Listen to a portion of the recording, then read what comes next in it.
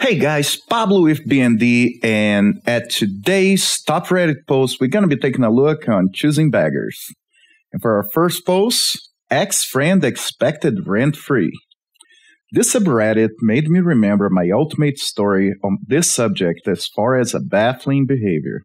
My lifelong friend wanted to live in my condo that I wasn't actively using because I had relocated to another city apartment before I was going to then rent out the condo. I told him that he could use it for a small amount of time until he found his own place, maybe even six months, just not for too long. I paid 280 a month HOA dues, it had a pool, security, etc., and property taxes ran me about 200 a month.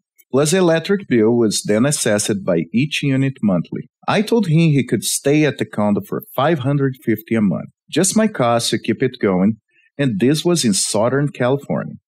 He agreed to pay, didn't seem to grumble or anything, and I honestly thought I was doing something really nice for my longest time friend.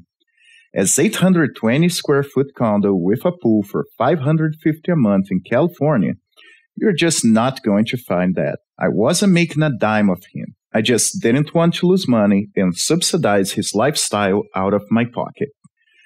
Fast forward a few months, my other friends all inform me that he's been texting Dan about what a bastard I am that I dare change him rent to stay there. Like, how could a friend charge money for that?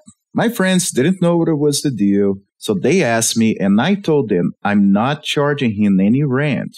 I'm literally just asking that he pay the costs of the unit and nothing more. For reference, when he left eventually, I rented it for several years at a thousand three hundred a month, so he was not even paying half the market's rent. I owned the condo, free and clear, so I had lower costs with no mortgage, thus allowing me to charge him less and break even. Finally, when we eventually went to move my stuff out of there, and yes, it was fully furnished too, with a nice TV, kitchen items, everything you could need, he had broken about a quarter of my dishes. He had left a used condom hanging on a trash can, and while my 105 pound girlfriend and I packed my stuff, he sat on the couch not offering to help at all, even once in three days. He laughed about the condom. He took a giant dump in the bathroom and clogged the toilet, requiring a plumber to fix.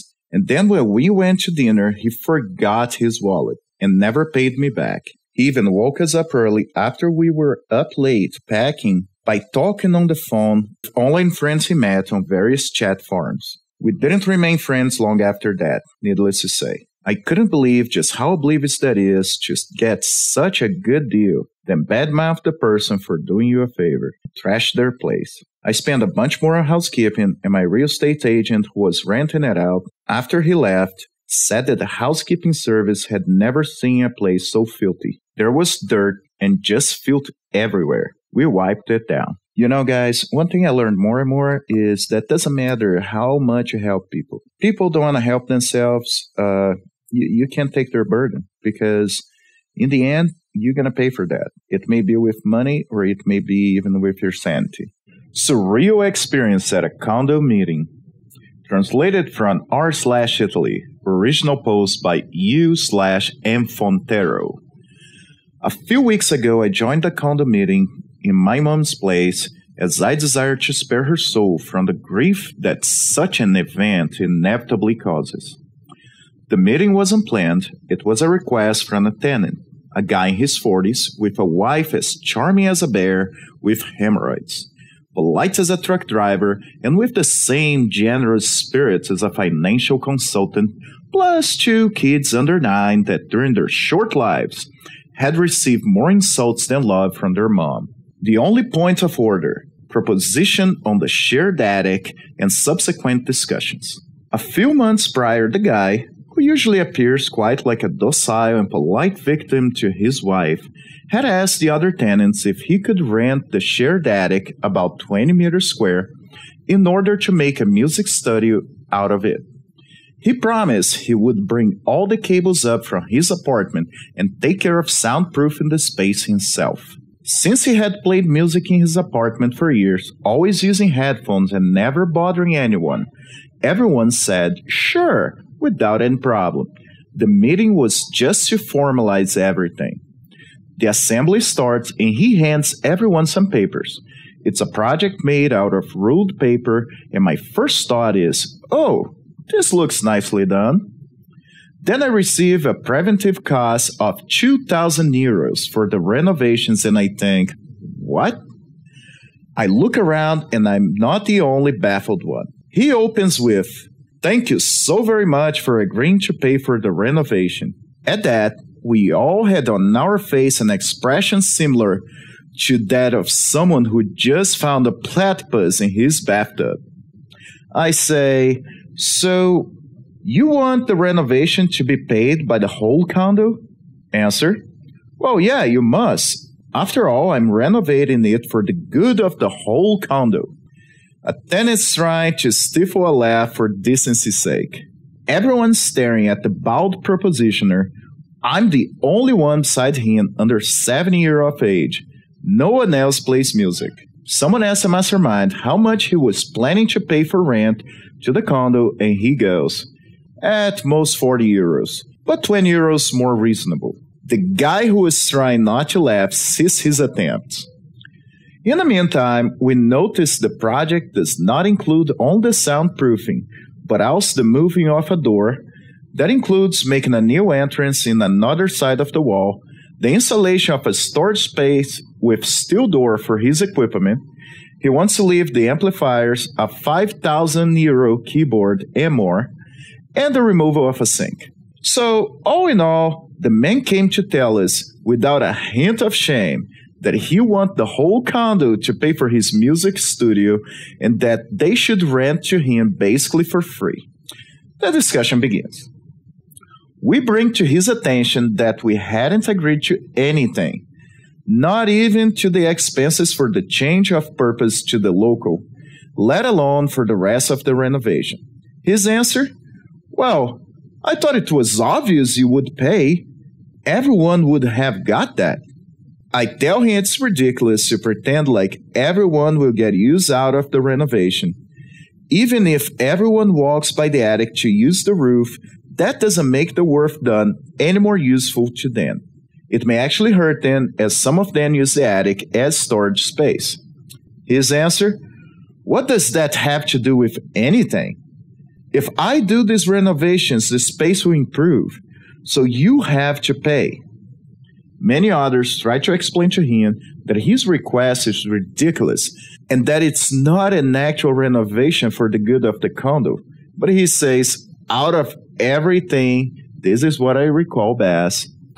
If one day I decide to sell the apartment, I'll leave the improved room to everyone else in the condo. It's not right that I should lose money on this and give it all for free. Some try to meet him halfway. If one day you decide to sell, we can repay you, at least partially. No one likes the idea, but there was no time to disapprove of it until he goes, Unacceptable. I can't see why I should pay a single penny for this. Someone else says, Maybe you could do the renovations, pay for them, and we give you a break on the rent until January. To that, he just says, Not a chance. Why should I pay first when I'm doing you a favor? We make him aware that the rent that he wants to pay is laughable and that he could just rent somewhere else and that would be it.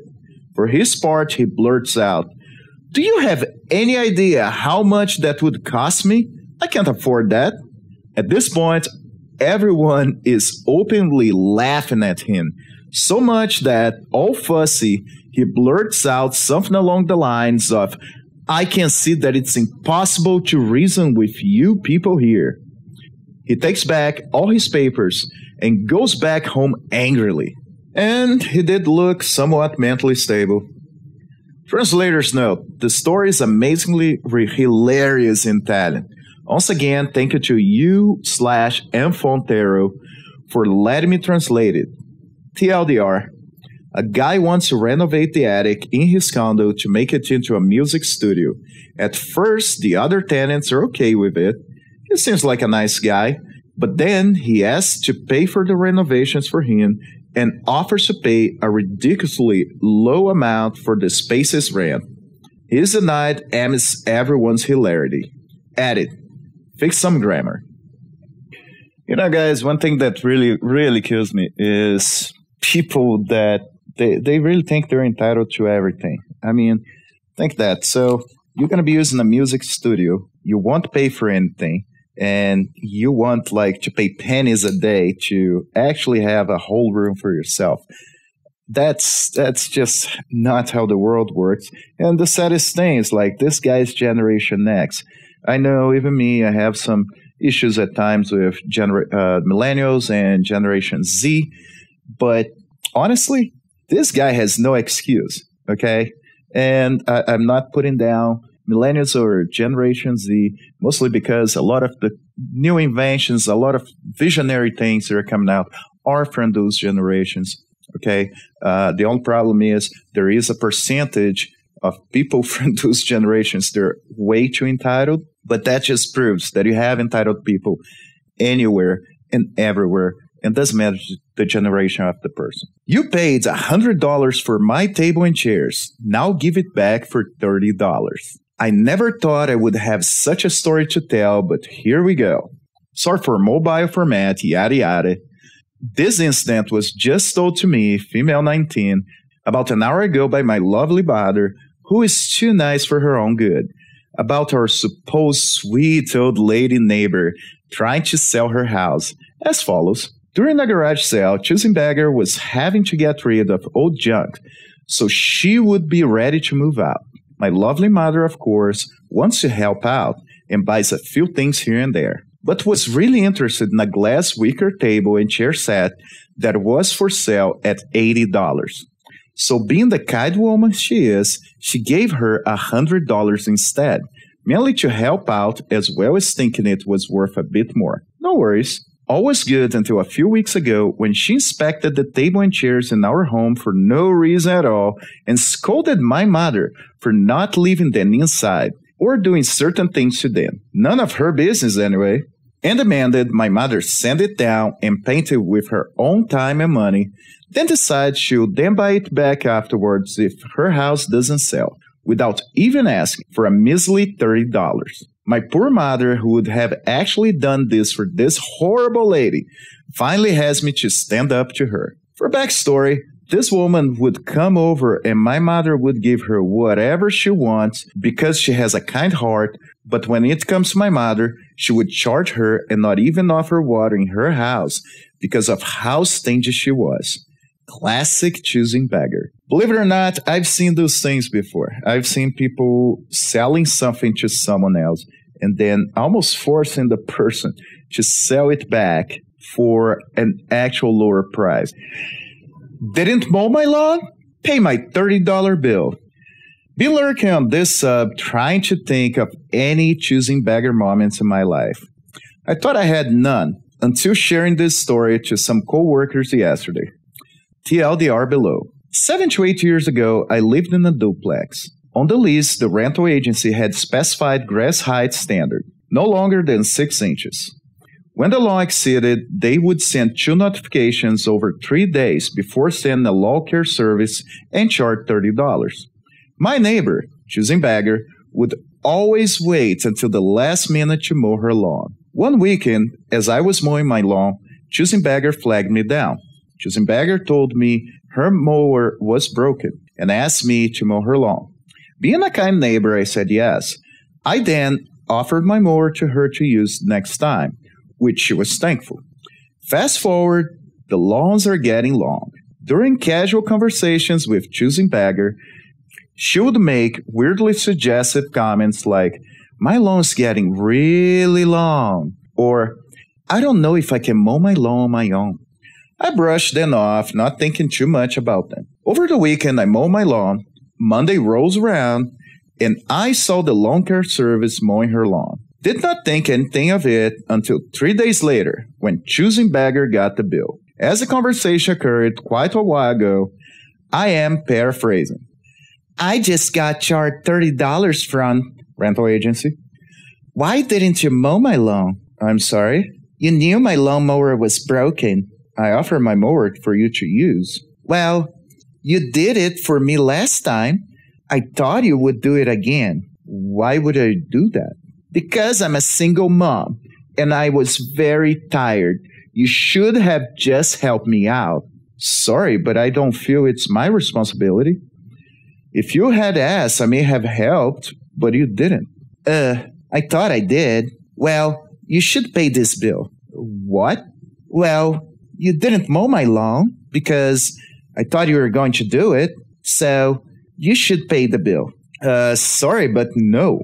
This is not fair. You know I can't afford this. Why can you not help me out? At this point, I was done. I ended the conversation moved on. For several weeks, choosing beggar ignored me, never acknowledged my presence, and only talked to my wife. She did use my mower next time. TLDR, mowed my neighbor's yard. She expected me to keep mowing it for her, then demanded I cover lawn care bill, as it was my fault. Well, yeah. Guys, look, uh, this, I, I think it's a choose beggar slash entitled parents in a sense, since she used the whole, I'm a single mom. But you do have people like that. And, and it's like, honestly, if you ask people for help, most of them will help you. Uh, the only thing is, don't do as people on you anything, even if you feel uh, you helped them in the past, and probably they should help you as well. But if they don't know, they may not do it for you. And trying to get them to pay a bill for something that is your responsibility, also not right. So, guys, if you got to the end of this video, thank you very much. Uh, please leave a comment, give me a thumbs up or down, subscribe to the channel if you can. I am still trying to run my 10,000 subscriber giveaway of uh, five $30 gift certificates for any store that you guys want. And hopefully, uh, PS4 or a, an Xbox One, depending on uh, how much I get from YouTube by that point. So thank you very much. Uh, I'm sorry I've been a couple of weeks away making those videos. I've been dealing with a lot of stuff. Um, I may comment a little bit of that in future videos. But again, guys, thank you very much for keeping up with the channel, for, you know, having to deal with my accent and everything. And I'll be seeing you in a couple of days. Thank you.